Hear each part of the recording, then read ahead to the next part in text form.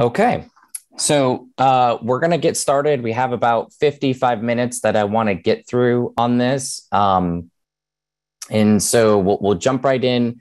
We're going to get to a stopping point. Um, th- there's a ton of information that I want to eventually share with you. Uh, we're just not going to get through it all today. Um, but I have a good segment that we can probably stop at. And um, so I want you to know that we're going to try to make this a continuous monthly wealth building type seminar, mastermind, um, and make it building blocks uh, for those that are interested in building wealth through uh, real estate. The um, whole purpose of this is just to give you information. There is no right or wrong answer, no right or wrong opinion. There is many investors um, from very small ones to very big ones. They all do it differently. Um, some of them have different things that they're looking for.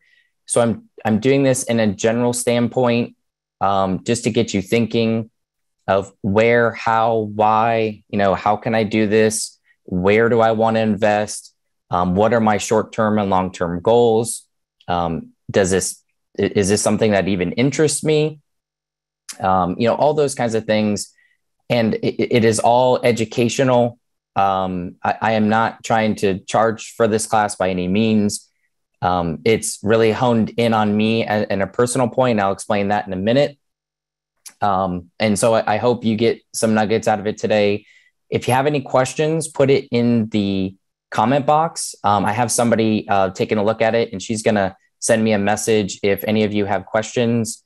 Um, we'll try to get through a lot of it, and you know, if if we get through some of those questions. We'll not try to dwell on it too much, try to get you the quick answer. Um, and we can always, you know, talk about it later. In the future, uh, might take me a couple months to put this together, but I'm going to try to get a couple of investors, uh, either small or larger type investors, on here to do a mastermind of how they got started. Um, I just got to put those pieces together. Um, and so let's get started. So I um, have always been interested in real estate.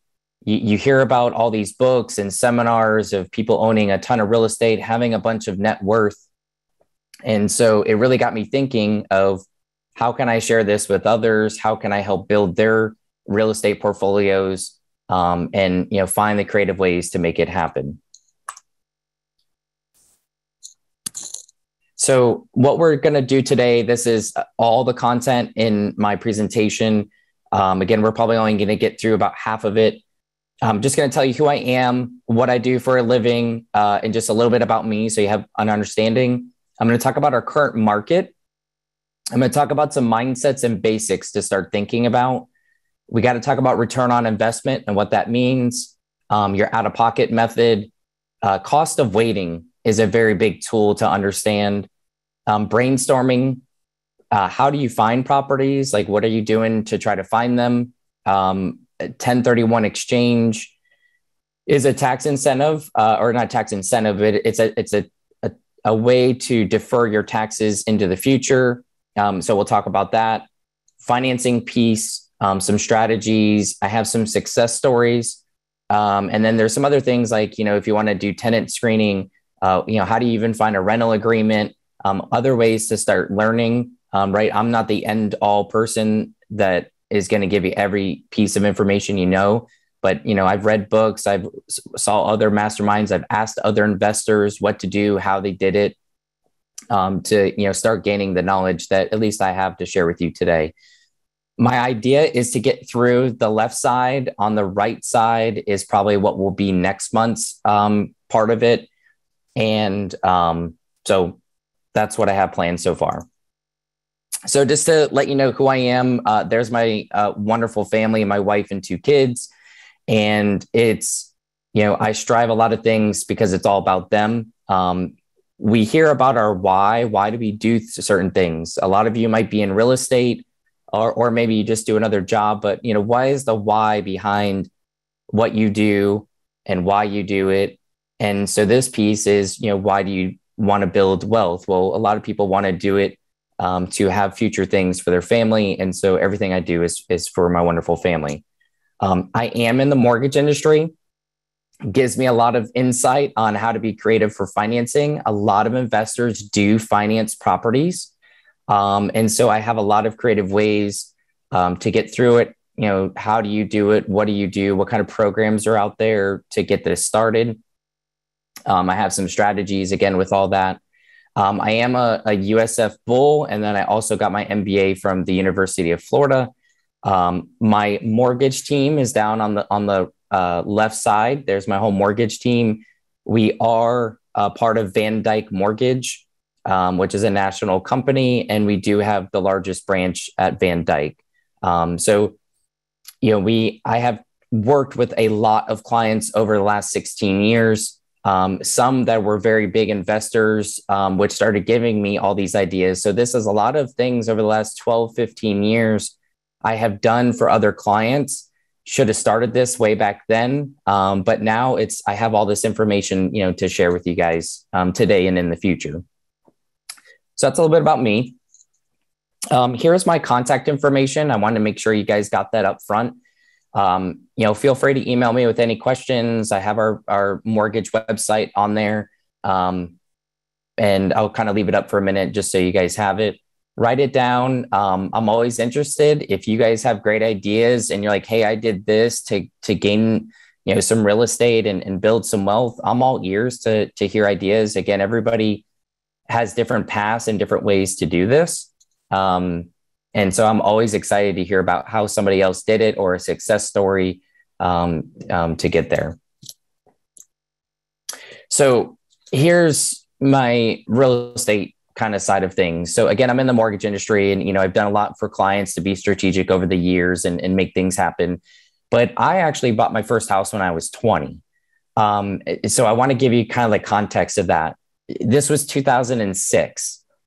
Um, fast forward real quick, 2008 was the financial crisis. So I'm sure a lot of you were in the real estate industry or maybe mortgage, um, or, or maybe you just, you know, you know all about it, right? So that was, I call it when the world ended. But I bought my house uh, in 20, uh, 2006, uh, 2006. I bought it for a hundred and uh, about 25,000. Um, the market was crazy then. I was getting bid out multiple offers because I had minimum down. I had my uncle co-signing for me. My dad gave me the gift for the down payment. Um, so I, I, didn't have any money. I was using all my family members to try to get my first house. Um, and then within a year and a half, it was worth about half because of the market uh, crisis. It went down about 50%. I still have it to this day um, and still have the same renters in it for about the last nine years or so. Um, I was able to keep it. I uh, I'll share more about that strategy when we get to that part. Um, but I had uh, friends that rented for me, um, so it made it very affordable. And then obviously over the last decade or so, the the mortgage and uh, the values of homes have really gone up. Um, but I did it. I did my first one when I was 20. Um, currently, I own seven. One is my primary residence, and then I do own six others. Um, the net worth of all that is about 1.7 million. Um, and I am continuously trying to find more. And um, you know, a lot of that has to do with different things that you guys got to think about. You know, using appreciation and leverage to get there. And then uh, recently, which was within 2020 and 2021, which I really didn't do this because of COVID. I actually bought the house right before COVID happened. Um, obviously, things flourished through the US because of COVID and low interest rates, but I actually renovated it and, and ended up flipping it. I decided not to keep that one, um, which I'm going to show when we get to that portion too. I'll, I'll show you exactly what it looked like when I started and what it looked like when I ended, uh, which was very different. So I am in the game. Um, I am in it for the long term, not necessarily the short term. Um, I and during COVID, I had all my renters paying uh, their rent. I did not have any blips, and um, again, I've you know at least owned one property uh, for 18 years now and, and and now I've built it up a little bit more so kind of gives you a, you know sometimes you hear people and they're like oh well I don't own any properties oh you're teaching me how to buy and invest in real estate but you don't own any I want you guys to know that I'm in there in the game with you So this um, comes from a book, and I wanted to read it to you guys because I, I find it very fascinating. And so there was a German immigrant that was a son of a butcher uh, in the early 1800s. Um, he invested, he eventually, um, he was trading in some fur, some teas, and, and whatnot. Obviously, that was what you did back in the day. Um, and so, in what he did was invested his profits into something that he felt was even better, and that was real estate. His most uh, profitable investments uh, was New York City, which he ended up becoming called the Manhattan landlord. Um, not only was he America's first millionaire, but he was also considered the first multi-millionaire. Again, all through real estate. And I find his quote very fascinating. It said, If I could begin life all over again, knowing what I know now and had the money to invest, I would buy every foot of land on the island of Manhattan. Right. And so if you think about it, there's only so much land in the United States. We're obviously seeing in this market over the last couple of years that everybody is buying everything they possibly can to a certain degree. Um, and here is something that somebody quoted here uh, well over 100 years ago. So I have a picture of McDonald's. What's your first thought? Probably a cheeseburger, double cheeseburger, maybe those, you know, those good fries. But if you actually think of McDonald's, they have a bigger concept called commercial real estate, right? They own all their properties. And not only are they in the US, but they're global. Okay.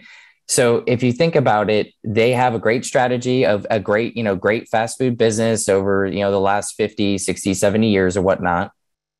But if you actually look at it and look at their, if you were to look at their balance sheet and everything, they are a huge commercial real estate investor and they buy all their properties. The next question I have for you is who do you think is the biggest landowner of, uh, of farmland? And I had I, I was Googling things, right? We find a lot of things on the internet, and I found this fascinating. But it's Bill Gates. Now he might have certain intentions of, you know, maybe it's all about the food, maybe it's, you know, uh, who knows what he's thinking. But smart people invest in smart things, right? And so Amer- America's biggest farmland owner is actually now Bill Gates. Interesting, right? What do you think when you see this? You're probably like, oh, I see these boxes every single day at your front doorstep. And what did my wife or husband purchase today? Uh, and I always joke with my wife, it's like Christmas every day. But here's what I want you to think about. What does it take to make Amazon run? It's their shipping, right? It's all about the their urgent need of the product. But how do they get the product to you? They get it to you through cardboard boxes. And how do you get cardboard boxes? Through trees so here's what's going on in America right now. And I personally know this because this is how I found this out. There are lumber companies that are looking for every piece of possible land with trees on them because they need the trees to build the cardboard boxes. Because they need the cardboard boxes because we're all buying a bazillion things online every single day. Well, they're buying land. And so here's an example because I know somebody that went through it uh, it was in Florida, in northern Florida. So northern Florida is a lot of pine trees. Um, so think of wherever you're at, and I'm sure there's somewhere semi-local that probably has something similar to this. There's almost no land for sale with these big pockets of trees, and if they do come on the market, the timber companies are buying it right away. So this example was the land was worth about uh, a million one million two, and we're talking I think it was about seven to 800 acres. The timber company bought the land. The, the timber that was worth on the land was about $600,000. So about 50% of what they purchased. They bought the land to cut all the trees down because they need all the trees to get you the, the cardboard boxes so we can get all your presents every day. They're going to put the, as soon as they cut all the timber off, they're actually going to put the land right back on the market for at least the same price they purchased it for. or you know, depending on the market, they might put it up for a little bit more, maybe a little bit less. However, when they do sell it, they're actually going to be up because they took all the timber for what they needed, which is going for an ins- like triple the amount it was a couple of years ago because of all the supply issues. But they're actually going to make money once they sell it because of what they're doing. Right. And so timber companies are completely investing in real estate. You know, it is land um, but that is what they're doing right now, which is why a lot of this, a lot of these lands that are up for sale are, are being bought out fairly quickly. So interesting thought, right? So what did this bring us? COVID 19. We, we thought the world was going to end again. You know, at first we were very scared. Uh, and then it turned out to be the basically the best two years in real estate that in mortgage world that we probably ever saw. We saw the lowest rates ever. We in the last two years, we've seen somewhere, depending on where you live, between 30 and 40% appreciation, a extremely limited inv- inventory environment. Again, we had the lowest rates ever, uh, which made it very affordable to maybe refinance, maybe took some cash out to buy another property or do other things. Some of you might have bought a second home in the mountains or in Florida or wherever else um, and so it turned into a, an amazing couple of years of real estate. So we don't, real estate is always going to be in an interesting and attractive market. Um, some things that are going to happen are, um, you know, going to cause things to flourish and appreciate a little bit sooner than we expect. Um, you know, but this was a true blessing in this world, um, which actually created a lot of wealth if you owned real estate over the last two years, you increased your net worth by somewhere between that 30 and 40% just by owning real estate. I do tell people it's not your money until you sell it, right? It, okay, it's great to say my house is worth this. Okay, that's awesome. But that is not money in your pocket yet, unless you sell it. Okay. So let's take a look at the app. This is average. So, you know, some of you in certain areas, you're gonna be like, well, our homes are double that price or maybe even triple. And, and that's, you know, I understand that. Uh, this is the averages. Um, I, I've meant to add in 2021, but I'll tell you what that is in a second. But look at this slide real quick and tell me what, you know, take a look at it and think what the trend is on here it goes back from 1965, which which an average sales price then was twenty thousand dollars. Okay, I wasn't around then, so I get that. Some of you are like, uh, "Hey, I wasn't even thought of." But if you notice, the only blip in real estate was basically about 2008 to 2010. So on this graph, that was the only time real estate actually went down outside of that, real estate has always gone up. And even when that blip did happen, it was a couple of years where people were doing short sales. Unfortunately, went through a lot of foreclosures and values did decline. But since then, values have gone up. And not only did they go up, but they've really appreciated over the last couple of years. The average price as of 2021 was about three, I think it was 347 or 350. So you can just see from one year to the next, on average in the US, people saw, you know, eight, 10% appreciation. In certain states, they actually saw anywhere from 15 to 20% appreciation. That is not normal, but when you own real estate, that's a great add on to have for not doing anything but owning the real estate. Okay, so it makes you think. So I always like to remind everybody we're all human beings. We're all we're not robots, and so we all need a shelter. Everybody needs a place to live. You know, there are people in apartment complexes, condos, townhomes, single family. Um, now, now there's manufactured homes and all these other unique ways, small, tiny homes, I think they're called but everybody needs a place to live. Now, not everybody can afford or qualify to purchase a home. We, we would love that. But in the history only about 65 to 67% of the population um, is a homeowner. So you still have that 35% or so that is um, still, you know, they're not going to be able to purchase. And so they're going to need a place to rent. And most of the time, people are going to want to rent a regular place rather than an apartment, typically. Okay. So let's talk about the current market. Hedge funds uh, in 2013, so I'm kind of taking you back a little bit. 2013 was a great year in real estate because at that time, it was the best year for mortgage interest rates prior to 2020 and 2021. At that time, hedge funds saw it as an amazing opportunity to invest in real estate. So at the bottom, hedge funds report it's on estimate, but they they invested between somewhere between 8 and 10 billion, that's billion with a B, billion dollars in buying tens of thousands of homes across America. The largest group was actually Blackstone Group, and they reportedly purchased about four and a half billion. Hedge funds do not make dumb moves for the most part right? So if they're they're doing a ton of research, they're focused on uh, different ways to invest. And hedge funds in 2013, which we were seeing homes appreciate, but nowhere in the levels that we saw the last two years, it was a great time to invest in real estate. And at that time, we were battling because they were paying cash. And we obviously had a lot of homeowners trying to get mortgages and whatnot. But it tells you that they were making a smart move in purchasing real estate. Now, guess what happened?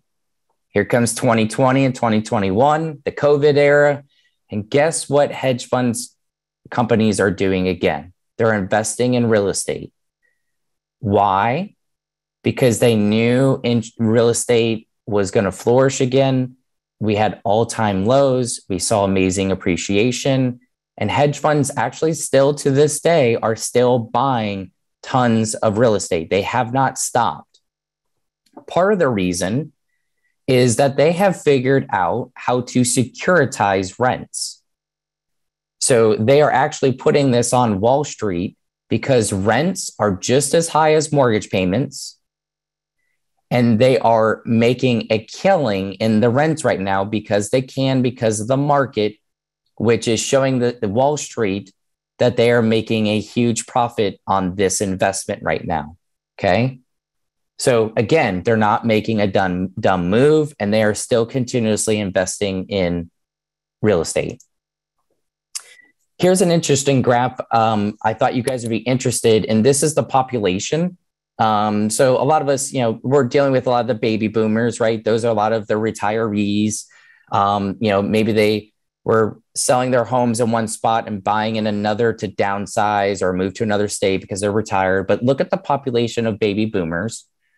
Then look at the population of Gen X. So it went down significantly, right? So we're talking about 20 million or so. But now look what's happening to the millennial and we'll call it the post millennial, the iPhoners. The population is growing again. And so as of today, this population, they're about 33 years old. Those are the ones that are, are buying real estate and they're actually smart. And, and I actually had a client make this comment and it was very interesting. She goes, You know, where are all these people coming up with money? And I said, Well, honestly, about five years ago, we were joking that the, the initial millennials were still living with mom and dad when they were 30, but they were saving a ton of money because they could and they didn't want to buy real estate. And all of a sudden, COVID hit, and here they come with the wave and the demand to buy real estate because they, they saw it um, as a great opportunity. Your common investor right now, too, is actually the millennials because they're doing a lot of things that I'm talking about or will talk about. They're seeing a great opportunity of um, purchasing a primary residence, maybe living in it for a little bit, and then they're going and purchasing another primary residence down the road, and they're keeping their first property as a rental. But the population tells a story. The population shows that it has increased and it's going to stay increased. And so that demand is going to stay steady. And so we're still going to deal with a, a inventory issue, which has been in the news a lot, but it shows that real estate is going to continue to be good. We're not going to see 20% appreciation every single year, but still appreciation is going to appreciate, or real estate is going to appreciate, and the demand is going to stay high. Okay. Uh, this slide, I just like to show everybody, but as the federal debt increases with the government, we have actually seen interest rates decrease. So it's a nice, unique visual um, to take a look at. If you want to, if you're like, hey, Justin, what are those gray lines on that graph? Those are actually recessions through those eras of time and through those decades. And so obviously we saw the peak of interest rates um, in the in the 80s where they were you know 16 17% so take that for a second. Interest rates were 16 to 17% in our world at one point in time. What has happened to interest rates ever since then? They have gone down okay? And the federal debt has gone up Here's a graph. Again, it's kind of hard to see the gray lines, but it does show the recession periods again. Um, what I wanted to show on this is on the right side because we're we saw the all-time lows of those interest rates, right? 2020 and 2021. And now we're starting to see the tick up. Oh my gosh, rates are going up. Guys, these are amazing rates. And these are interest rates that we had prior to COVID. And guess what we were doing prior to COVID? We were selling real estate every single day and it was busy, right? So these are still amazing rates. Depending on what you're trying to do and how you're trying to invest, these are still greats to capture. Um, it, to capture a mortgage, to capture, capture real estate, to get renters and properties and have these renters pay down your, your debt um, so take advantage of this. That these interest rates are not scary by any means, and I hope this graph kind of shows you that a little bit. Here's another graph. Um, again, it, it just kind of a little bit bigger to kind of hone in the point, but take a look at the middle to the left of the graph. You know, 2012 and 2013 was that time period of when we saw all-time low rates at that time. They went up and they stayed steady approximately about maybe four, four and a half percent through those different years. And then obviously we had COVID, um, you know, come and, and that's what dropped the rates. But between 13 and 19, real estate was busy. People were buying and selling real estate. Appreciation happened. Depending on where you were, on average, it was anywhere from three to 6%. So it was still appreciating, gaining your wealth and somebody else was paying that debt down for you. Um, just a kind of one more thing, because you know you got to understand all these aspects of our industry, so you can pay attention to it a little bit to understand when times might be right. So this is the ten-year Treasury. This is what mortgage interest rates are based upon right now. Again, on the left side, look where the ten-year Treasury was, somewhere between two and a half and three percent. Again, real estate was flourishing at that time. It dropped significantly because of COVID. We were that I call it my swimming pool of rates. So I was backstroking, I was doing butterflies, helping every client out with with very low interest rates. And then they did go up a little bit last year. Then they came back down. And now we're seeing that trend so far this year of going up a little bit. Now, one side note, and I am not the crystal ball of mortgage rates, but I can tell you that gurus are saying that we we were going to see rates go up around the first to second quarter of this year, which we did. And at some point, they are expecting rates to come back down a little bit. Now, that doesn't mean try to time it to get the best interest rate because you might not. And we don't know if that's truly going to happen. But again, the whole point of this is even if rates stay where they're at now, this was still an amazing time prior to COVID to get real estate and things still appreciated to gain wealth um, through our through the industry. This is a very interesting graph. Uh, I pulled it this morning. look at the acceleration of home prices, right? I mean, I think a lot of us might know this, but some of you might not be in the industry. Look at 2013 and look at that acceleration. And then look on the right side at, at the acceleration from 2020 to 2021. Pretty big increase. So if you bought real estate between that 14 and 19 era, depending on where you are, you might have received, without doing anything other than owning real estate, you might have received 50 to 100% appreciation. So you basically just basically doubled down and created a lot of wealth by owning real estate over the last couple of years or so. Um, I found this one too, and I thought this was interesting. Again, I, I'm just sharing information. It's all about you picking where you want to do it and what you might feel is the best opportunity for you and your family. Um, this was the home price index, the top 10 metro areas. Um, it's hard to kind of see the, it, it is a map of the United States, but it does list the cities. But, you know, look at San Diego, LA, Vegas, look at Denver, Phoenix, Houston. Um, some of you guys up there in Boston had an amazing year. Um, you know, Chicago and then, you know, Miami and Florida. Um, so it was, it was very interesting. I find a lot of this free online and I just start Googling different things, you know, top, top 10 areas or top 20 areas or, um, you know, whatever you're trying to search for. But it's sometimes it's thinking locally, and sometimes you got to think outside the box and think a little bit further out. Um, the other thing that we saw this these last couple of years is the demand for what's called a second home, which we in the mortgage world would call that a vacation home hey, I live in Florida and I want to go buy a house in North Carolina. That would be like a vacation home. Um, it surged because of COVID, and, and especially those that may have been up north, they were tired of hanging out at home in the snow. So they're like, why don't I go buy a house down in the mountains in North Carolina, you know, Georgia, or maybe buy a place in Texas and Florida to get some sun. And so the demand, that was another big, you know, so we have the millennials, we have hedge funds, we have people that do own homes, but they demanded a second home. You know, so all this demand is what we're seeing over the last couple of years.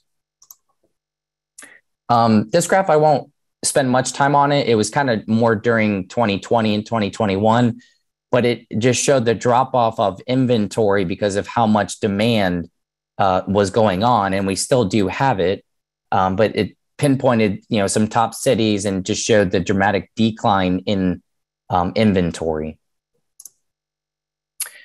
This one I found also this morning, and I, I, I thought it was very good because it hones in on a point. You know, the whole point of owning real estate is, you know, what kind of rents could I receive? What did rents look like? Um, you know, what's my return on that investment? And I have heard it in other presentations that rent is expected to increase 5% this year. And rents in apartment complexes are going up just, um, they're, they're going up to where it actually is still a smart time to buy real estate for the fact that rents are supposed to continuously go up again because of supply and demand. Um, and so it's just honing in then on the point if, if you start working on buying a investment property, just one, you know you're going to be able to capitalize on what those rents might be and that increase in appreciation on rents so let's talk about some mindsets and basics so how do you build wealth? Like, just in general how do you how do you build it? Well you got to make money right? We got to have a job. You know that's the start. We got to pay our bills. But you're going to do three things with that money. You're either going to spend it you're going to save it or you're going to invest it. Okay, so keep that in mind for a second. We're either going to spend it on Starbucks every day, we're going to save it in our savings account that may make 0.001%, or you're going to try to find a way to invest it. And usually you think, well, I'm going to invest money. I'm going to talk to my financial advisor. He's going to tell me to go into this mutual fund, make a couple of percent per year, right? Um, dollar cost average, all those kinds of things. Um, but that's that's the start of how to build wealth, and, and you got to invest it for future. So if you're talking to a financial advisor, he's going to say, well, he or she is going to say, well, we're going to need to diverse your portfolio. You need to have some stocks, some bonds, gold, silver. Um, sometimes they, if people are interested in collectibles, maybe cars, toys, um, I don't know, baseball cards or um, those NFTs now or something, um, right? They're going to tell you to diversify. But one of the things that they will tell you to diversify in is real estate. So, how much wealth is in real estate? Um, so, when I looked this up, trying to find out the answer, it said that housing wealth is about one half of total household net worth. So, real estate is about half of their net worth. I want you to think about that for a minute. And typically, this comment is based upon a person, the average person owning owning one real estate property, which is their primary residence. Okay. $52.9 trillion in wealth in real estate, which is actually larger than the, do- the gross domestic product. And it's commonly said and agreed upon, especially within uh, financial advising, because um, I've talked to a few friends about this. Um, between 25 and 40% of your net worth is going to be real estate, including your home, um, to capitalize on different things. It might be tax advantages. It might be just parking your, you know, money that you've made. Um, you know, there's different avenues of and aspects of that. Um, I got this from this link before. Again, I'm not, you know, I'm not the guru here. I just put all this together and give you some opinions. Um, but your net worth is always your assets minus your liabilities, in case anybody didn't know that. Um, you know, so if you own a house today, look up what it might be worth, subtract your loan of your mortgage that you might have, and that is your net worth on your house today.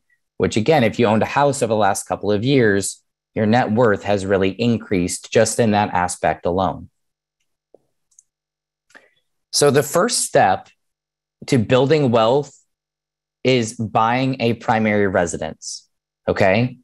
If you do not own a home now, or if you're working with clients or have friends, the first step is buying a primary residence. Why? Because that goes back to my comment that everybody needs a place to live.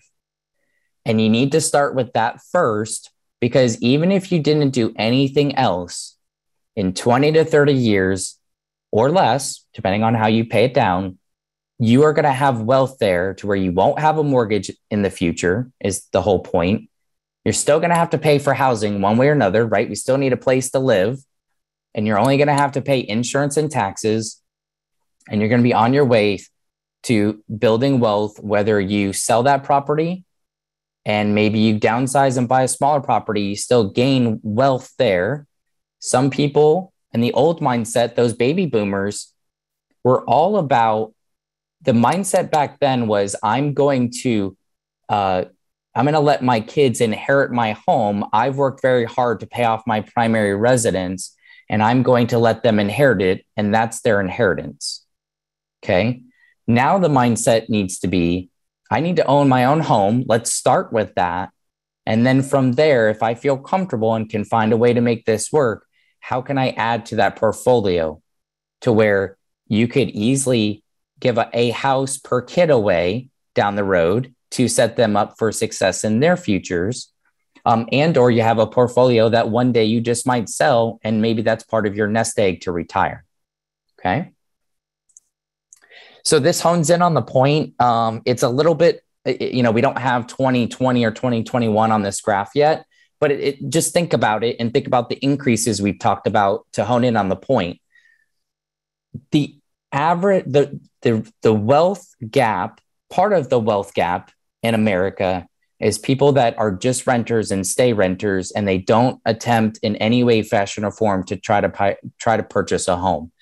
And that 35% that i talked about earlier a big portion of them probably could try you know maybe their credit is not there yet you know maybe this and that or maybe they need to save up a little bit. But there is so much down payment assistance. There are so many minimum down ways. There are so many people like myself and our team that will help people do whatever we can to increase their credit scores. If people just try, maybe it doesn't happen right away, But even in a year or two, if you make that opportunity, American dream of buying a home, it gives an opportunity to start building that wealth. And so think about it. If you owned a home versus renting, if you rented for $3,000 a month, people talk about how you throw that money away, right? You're not adding to your nest egg at all. But if you took that same $3,000 or maybe even less and was paying your mortgage, which is you're paying your mortgage balance down every single month and year, you're starting to create that gap of your balance going down and that appreciation or that value going up, giving you that building block of creating wealth. So the average homeowner in the United States at that time, so we're still three years ago, was 40 more times wealthier than the average renter. A homeowner owning one property is 40 times wealthier than the average renter. Okay, that's pretty pretty significant there. So the other thing I want you to think about is when you're talking to like a financial advisor, you talk about Social Security, pensions, annuities, IRAs.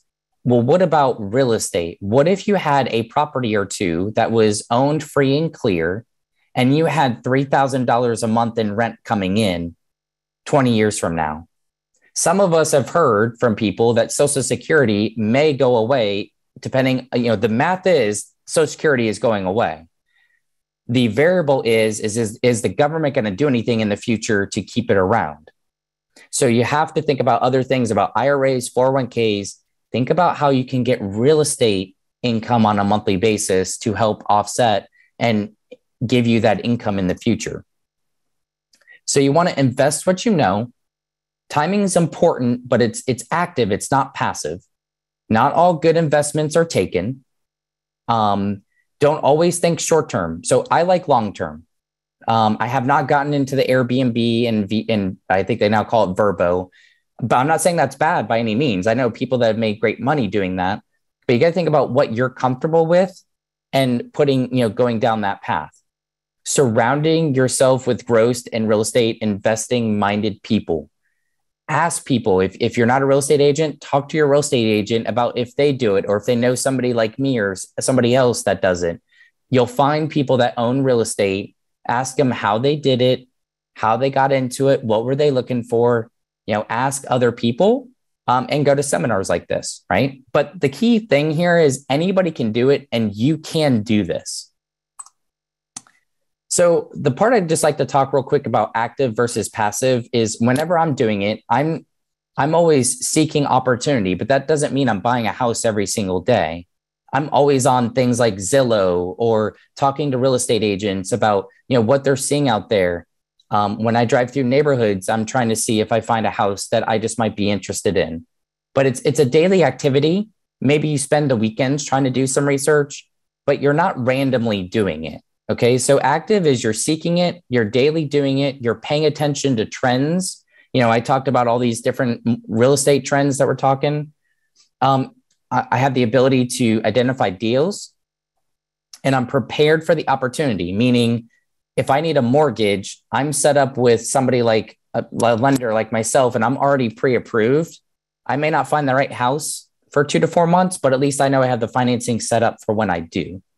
Passive is you're waiting for the opportunity to come to you, which right now is not going to happen.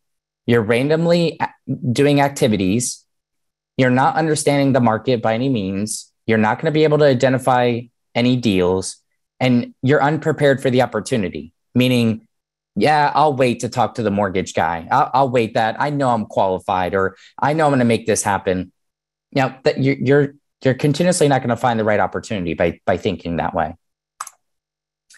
So when you think about real estate, you think about accessibility. Anybody can buy it, right? It, you don't have to have a degree to go buy real estate but you do have to have maybe degrees to be an engineer or to do high level jobs making a certain salary, right? Appreciation is your friend, especially I explained the last couple of years. Leverage is also your friend. Um, rent, it's all about the cash flow. You can do things like approvability. So if you buy a house and you renovate it, and then you, if you want to do flipping, um, then you're putting some sweat equities. I know some people that do all the renovations, you know, because they're qualified, but they do renovations themselves um, or are very involved in that process. There are tax advantages to owning real estate. You should talk to a CPA about what that is, but deductibility, depreciation, and deferrability, those are all great tax benefits. Um, real estate is stable. Again, it, it typically it's slow to rise and slow to fall. Now, the only two times, main times that I've known that to happen is it was quick to go down in the financial crisis, which was the first time we had something like that since the 1920s. And right now, 2020 and 2021 were probably the best appreciation years we've ever seen, right? Outside of that, it's very stable. And then everybody, again, everybody needs a place to live.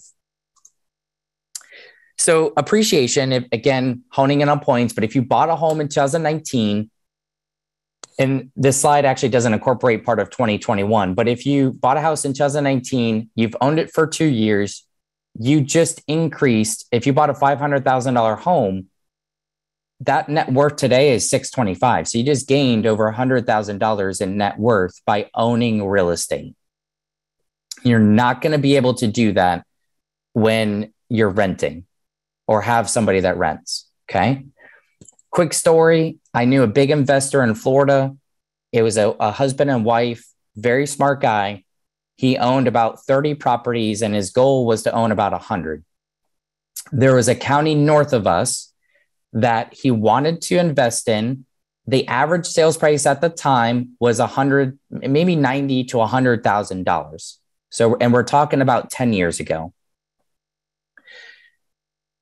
he decided not to buy more property in this area at the time because he goes, you know, the rents aren't just supporting what what my method is. He had a certain method that he wanted to net a certain cash flow and have a certain cash flow of of that per month, and he wasn't. His numbers weren't supporting it. Those same properties in that same county are now worth triple the amount. So imagine if he bought 20 to 30 properties held on to him for 10 to 12 years, saw a crazy market that we just saw in the last two years, and, the, and his properties tripled or quadrupled. Then he could sell that complete portfolio and he would be worth millions today. Right. So sometimes you're hesitant. Sometimes you say numbers don't work, but sometimes you got to stay in it for the long game um, to make it all work out. So you want to buy it right. You want to pay it down and pay it off there is advantages to having mortgages, uh, but the whole idea is let appreciation work. Average appreciation that you guys should know is 3% per year. Last two years alone, we've seen 20 to 30%. And we've seen rent gr- growth, which means you're able to pay off that debt um, and, can, and even make some good cash flow from it. But it, the whole idea is to have renters pay down the mortgage for you and let the growth happen with appreciation. So, return on investment, it's just a, a math equation um, for you to understand. Um, it just it's indicating the percentage of invested money that's recouped after deducting associated cost. So you're taking the gain minus the cost divided by the cost. So if you invested in gold in 1990, it was $400 an ounce. Right now, it's hovering about 18, 1850, you know, depending on the day and whatnot. If you invested in gold in 1990 and still had it today, your return on your investment is 366%. If you invested in the stock market with $1 in 1990, it's about tenfold. So your return on your investment was about 913%. So right now you'd be like, ah, why gold? Stock market looks really good. You know, how can you beat that? If you paid cash in 1990, the, again, the average price was 123,000. The value as of uh, 2021 was 425. Your, if you paid cash, your return on your investment was 243% because you paid full cash for the property. Okay. So you didn't have any other opportunity to grow that money elsewhere other than that real estate. Again, if you invested in the stock market, 913%. So like Justin, stock market's still the best way to do this. Why would I invest in anything else? If you invested $50,000, and guys, I promise there's a point to all this in a second. If you invested $50,000 in 1990, uh, it's worth about 570 today. Again, that tenfold. So you're like, all right, $1,000 of return on investment. The, oh no, um, one second, guys. I hope I didn't delete the side. Let me screen share one more time. Very sorry.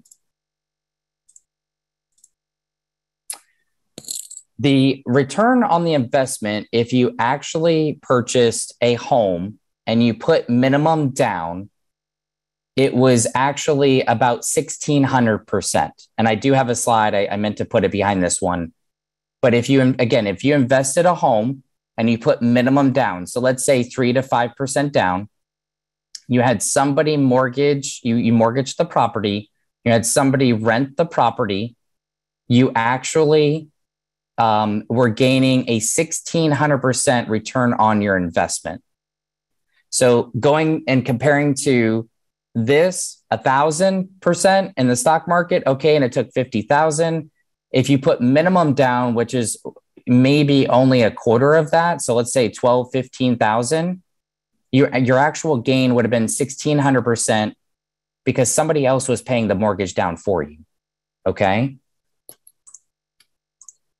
So out of pocket method, and this is where this is going if you invested 6200 or yeah $6250 which is 5% down on that 125000 from 1990 to two, again from 2021 it's worth about 440 you live in it for a year and you rented it out for the next 2 to 30 years because in 30 years you would assume you've had it paid off the tenant pays the mortgage and taxes and insurance for you okay so i only used a quarter not even a quarter. I used a little sliver of that 50,000 to put minimum down on a house. So my my gain minus my cost over my cost is actually 6900% return on my investment. All I did was put $6200 in to buy a house. The tenant paid it the rest of it for me and I gained $6,900, $6,900 return on my investment because in 30 years it's paid off. And all I did was put $6,200 in. Okay. Are you guys flowing with me right now? Okay. So let's recap stock market, a thousand percent. Real estate, minimum down. Return on my investment is 6,900%. Now, which one sounds good? investing in real estate, right? And it's not paying cash, it's actually using a mortgage, leveraging it, and putting minimum down as much as possible to leverage your money. So, again, if you did cash, 243%, put minimum down, let somebody else pay that sucker off for you, 6,900%. So now let's say we we had that fifty thousand dollars in the stock market, right? A thousand percent return on investment. But what if you took five properties over a certain period of time? Let's say five to seven years. You bought one property per year, put minimum down. I'm still not even using that full fifty thousand.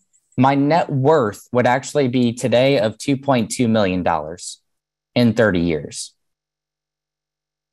You guys seeing the point of investing in real estate and actually leveraging money?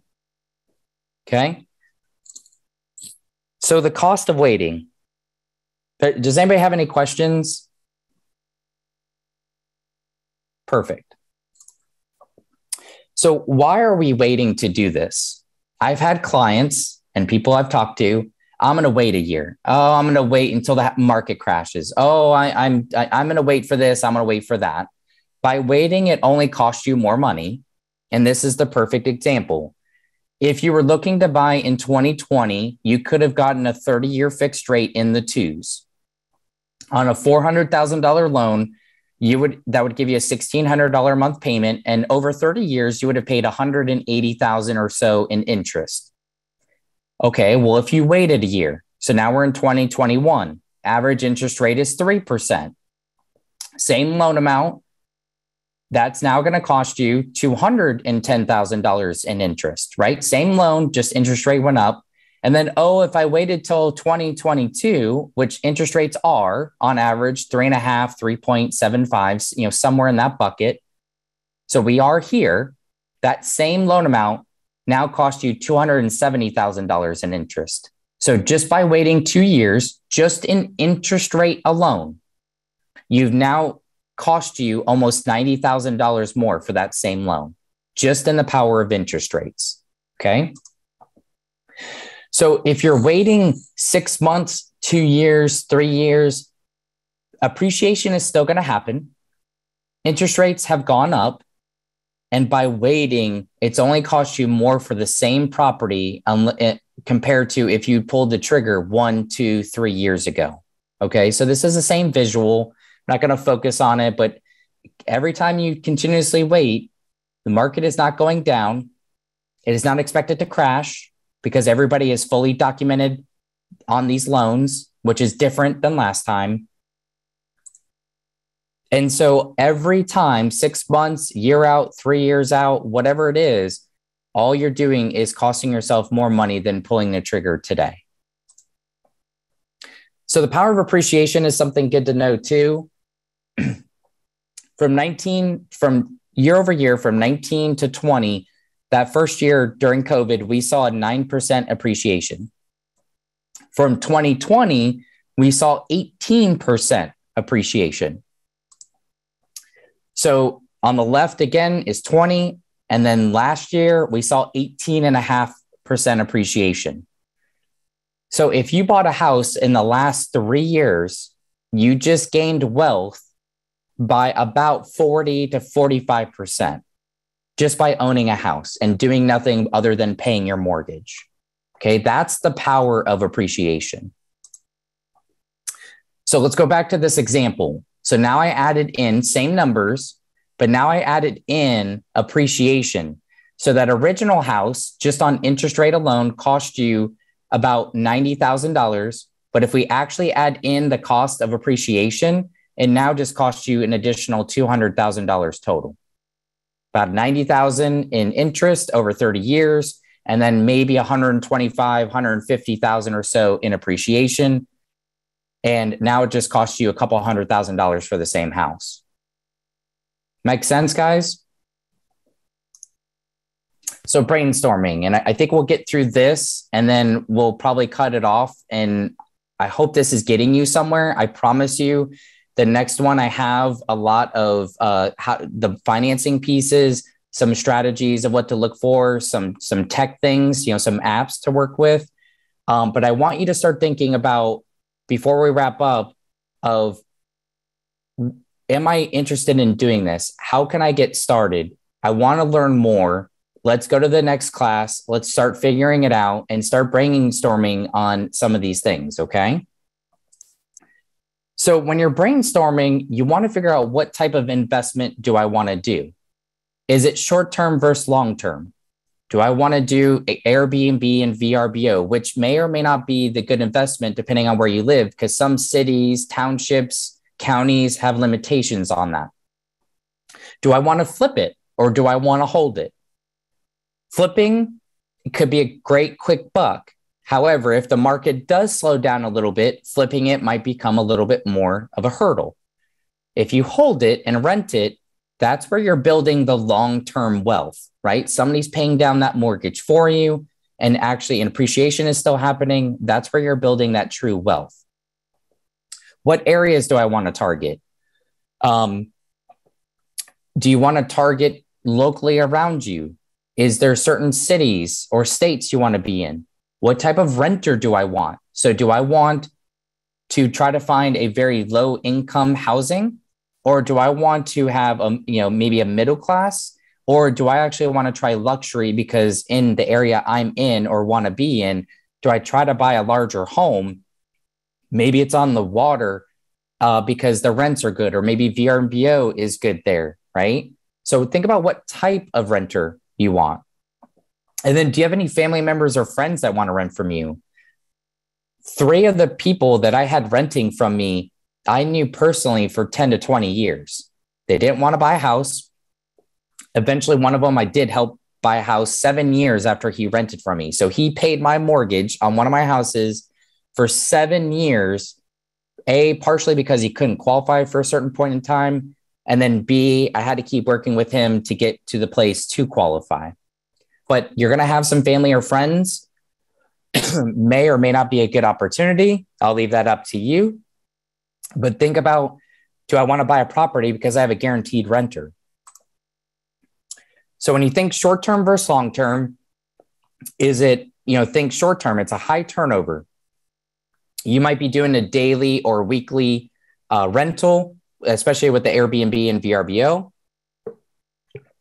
It might have a high vacancy rate in the off season. So I think about places like apple picking areas, uh, maybe in the mountains when it snows. People aren't going to vacation for the winter times, right? But but it might make up for the difference of when you're going to rent it out from the spring to the fall. You might have a little bit more maintenance for those people coming in and out. Um, you might have higher income profitability if it's a sought out area. So there, there, there's some definitely some pros and cons here. It might be a higher time consuming project. You know, if you're doing that, you need to manage it, or you're going to have to pay somebody to manage it for you. Um, what's nice about short term is it still gives you the opportunity to utilize the home too. So again, Airbnb, maybe you block it out for certain periods of time for you and your family to utilize it and then put it back in the pool to rent it out, you know, outside of that. Long term, it's typically a lower turnover because you're using 12 month leases, low vacancy rate, lower maintenance typically. Um, it's steady income. Again, those people want to be there long term. A lot of people are okay with renting. Um, it might be a lower time consuming project because you're not, you know, doing the high turnover and having to deal with people daily to rent it out. Um, but the downside is, is you can't utilize that home, but maybe that's not the goal anyways, right? So there's there's pros and cons on both sides. Um, I want you to think locally and beyond. So again, we keep talking about Airbnb and VRBO because that's a big uh, piece to the puzzle right now. But where do people like to vacation? So think about where you like to vacation. Do you like to come to Florida? Do you like to come to California? Or what about North Carolina in the mountains? North Carolina has Asheville, North Carolina. It's the it's the uh, brewery capital mecca of the world, to where there's so many breweries, microbreweries uh, within a like a square mile. It's it's insane. They also have some of the best uh, mountain biking trails. Um, what about Maine? You know, people love to go to Maine during the summer because it's just absolutely beautiful. What about Washington D.C., right? So where did where do you like to go? What about theme parks? I'm in uh, Disney for a work thing, right? So there's a lot of people here d- visiting the Disney, you know, World in Florida. Um, you know, what about Six Flags? You know, these are all places that people like to rent, and they like to rent VRBOs and Airbnbs. Um, you know, because it gives them the full house and amenities again, like Universal Studios, whatever might be near aquariums, um, anything around you. Think tropical. What about the Florida Keys, uh, Daytona, Miami? Um, what about somewhere in Texas uh, or San Diego in California, right? Um, sporting events, if you're a big college or pro football buff, you know, where is somewhere that you could rent or, or have a place to rent out during those, um, you know, those seasons? again baseball soccer hockey you know whatever whatever interests you or where you might find that somebody has a high interest to rent from you what about large destination cities again all your big cities um, your historicals your concords your st uh, augustine your yellowstone park is a big one um, activities snowing hiking mountain biking fishing boating all everybody is doing a lot of vacationing uh, and and now that we're I'm seeing that you know the mask mandate and all that is really getting lifted everywhere. Um, you know that's going to be a great opportunity that other people will want to vacation to. College living. So one of the houses that I own is actually next to the University of Florida. Um, you know, I'm having people rent it and pay it down so that when my three year old goes to the University of Florida, she's not going to have a choice. But when she goes there, I have a place already paid off for her to live in and or to rent to her friends and they can live in a house and not a dorm, right? Students need housing too. Everybody needs a house except for our kids. We we we do the housing for them. Um, what seasonal things do like people to do? Uh, I learned about apple picking recently. I know somebody that bought two houses in northern Georgia because of the apple picking season. I think about wine, leaf color change. People love to go to the Carolinas because of the leaf change. Um, cherry blossoms. My wife and I love to see DC, uh, cherry blossom trees in DC. And then Mardi Gras, uh, Pride Parade. I mean, just think of things that is around your areas, around where you like to go but don't just think local, think up and around where you like to go as well. So we have a question. Uh, I'll, I'll, pause real quick. We have a couple questions real quick. Um, everybody, so somebody on the call, which who I know, Patty, said that um, you know Gary Keller, who owns Keller Williams, advised everybody to buy dirt at their event, even their clients. And her uh, first mortgage was 17% in 1980. So that's, uh, thank you, Patty. Massachusetts absolute net commercial properties he bought in 2019 gained 150 to 200%. Wow. So thank you for sharing, uh, Thomas. And then how do they find investment properties for those who live in very expensive real estate markets? And I think we kind of just talked about that. Just because you live in an expensive real estate market doesn't mean the whole country is like that. Here's an example there's a city outside of Chicago, it's about 45 minutes uh, west, I'll say west to like southwest of Chicago the average sales price is between 150 and 200,000 dollars. So you think if I said the suburbs of Chicago, you're like, oh, that's expensive. Well, no, if you actually go a little bit further out, you can easily get a three bed, two bath, two car garage, nice little block home for $189,000. So you just have to find the cities. Uh, I think you could utilize Zillow, maybe realtor.com. I think you could kind of hone in on some places.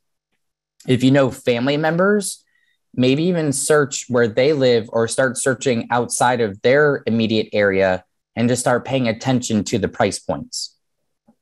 So you can find different ways to do that, um, but not all areas are just as expensive uh, than where you are. So this kind of um, helps you hone in on that point and we'll we'll work on wrapping up. So I, I utilize Zillow sometimes and it's I don't necessarily want to give Zillow props. I, I do think some of their information is inaccurate, but I do utilize it just to hone in on some areas, kind of get a feel for what might be listed. Um, you know, maybe try to find some information. But this is a section of an area of where I live. At this point in time, and I'm going to tell you is probably 20 end of 2020 this is all the homes in that city for sale on the left. On the right was all the homes for rent. Do you see an opportunity? There wasn't many at all. And for the fact that in this area, they have uh, um, A rating schools for their kids. And so a lot of people are honing in on this specific area because of schooling. And when I look at this, there's if I see nothing for rent, but I can find an opportunity to buy a house that might give you an opportunity to have a high rent home and make some good cash flow. Um, in this area, I did buy one. It was a 3 2 with a pool. My mortgage is $2,000 a month. Right now, I'm renting it for $3,000 a month. I didn't do anything to the property. My cash flow is $1,000 a month just because I own a property in this area. And the reason they're living there is the schools. Okay. Um, again, uh, for you, those of you in the Massachusetts area, this was middle of COVID. If you want to try to get a rental property in downtown Boston, ooh, it was it was hopping with a lot of rentals because everybody was moving out of downtown um, and going to the suburbs. Right, that was a big kick in the real estate market. But if you actually look outside of Boston, look at the rental pool. Not as not as hefty, right? And that's because everybody was moving from Boston, which is why there was so much for rent, and everybody was going to the suburbs of Boston to go either rent or buy a home because of COVID. Okay. Again, I took another area. This is all I'm doing is I'm focusing on areas. I'm just looking at rent versus buy, and I'm just trying to find trends. So I think we'll leave it for there. Um, we went an hour and 15 minutes, um, which I think is a great st- stopping point. I, I wanted to get through some strategies of what to start thinking about um, where you want to do it, how you want to do it, when you want to do it. Sometimes it might be with a family member. Maybe you don't have all the money just yet, but if you team up with somebody or two and you trust them, keyword trust them, maybe there's an opportunity for you guys to go in together to start your first real estate transaction. Um, you know, have conversations, write some things down, um, I really enjoyed sharing some of this with you today. The next part is going to be going through again those financing options, some strategies on how to leverage your money, um, some apps that I have come across that really helps you figure out what rents are for the specific house. I have a, an app, or I think it might be just a website that will help you figure out if there's any sexual predators around that area, right? You want to do all research surrounding the real estate you're trying to purchase to make sure it's a good investment for you. So, with that, does anybody have any final questions or comments? Hey, Justin. Yeah. Are you an advocate of uh, taking a shorter term loan as opposed to a 30 year for investment purposes? Very good question, Dan. Um, I am younger, so I'm 38 years old and I'm not saying age has anything to do with it, but here's my mindset. I'm 38. If I take a 30, 30 year mortgage, I'll be 68 by the time it's paid off. I hope I'm still kicking around at that time. I will have real estate paid off. So I'm okay with 30 year for the fact that it's going to give me cash flow and I have time on my side. Now, my mindset might change when I'm 50 or so and say, you know what, maybe I try to look at a 20 or 15 year. I'm not worried about the cash flow as much as I just want to pay it down. So when I do get to that retirement age, again, I have that real estate paid off by that time. Um, there's no right or wrong answer there. Some people might be my age and say, hey, I want this sucker paid off in 15 years. Um, and that's okay too. And then they're going to start easily cash flowing. Um, so there's not right or wrong answer. My opinion right now is 30 years, leverage as much money as I can, cash flow today. And all I'm doing with this cash flow is I'm putting it into my child's college fund. It's not going to me, but it's going to my kids. And now somebody else is going to pay for my kid's child fund or college fund. Got it. Thank you. Yep. Um, any other questions? And we will talk about that more, Dan and others. We will talk about that more um, next month. And it, it'll be the, let's look this up for everybody. I meant to write it down for you. So on March 30th, we will do the same time. We'll do 10, 10 a.m. And we will spend another hour going through this um, for, through the rest of this presentation. And then from there, we'll start doing some building blocks, try to get some people to talk about what they've done, you know, different things like that. But March 30th, 10 a.m., and we'll kick off the, the second half of this. I think I just answered that question. I need money. Put me down for the next class. We'll send out another Zoom link too, guys. So that way it's on your calendar. We'll, we'll, we'll get that set up this week and get it out. Um, wonderful info. Thank you for sharing. Thank you. So, all right. So I think we covered everything. Um, if you have any additional questions, I know sometimes you don't want to talk about personal stuff on something like this. Again, you guys have my email or phone number. Call me, text me. Um, you know, we could start, you know, talking about what you're trying to do. But I appreciate you all joining. I was very excited to, to do this today. Um, and I hope you're excited to come to the next class. Again, it's free. If you have anybody that's interested to, tell them to come aboard. I don't think we, you know, talked about too much to where they're not, you're going to be so far behind. But I think the next portion is going to be very important because it's going to, again, talk about the mortgages, the strategies of how you can build and multiply this. So I think next month's class is going to be much more technically important. My goal today was just to get your mindset going for this one. All right. Well, if you guys don't have anything else, again, I appreciate you coming. March 30th, 10 a.m. I'll see you there and we'll get started right on time again.